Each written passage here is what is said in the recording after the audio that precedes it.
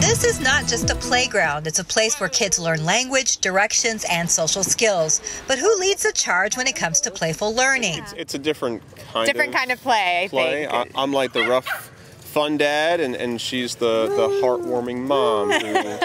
Natasha Cabrera is a child development specialist at the University of Maryland. She studied the influence of different caregivers on the academic skills of more than a thousand kids from two parent households. The kids were enrolled in childcare at the age of two.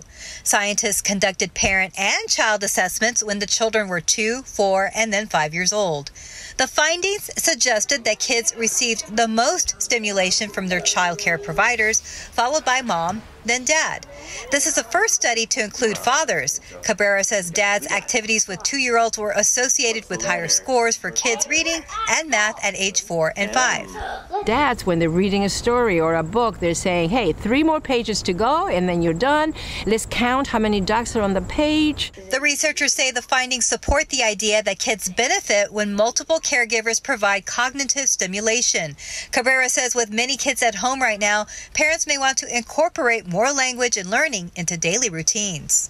You know, maybe you're reading the newspaper out loud. Maybe you're reading the comics. Maybe you're singing.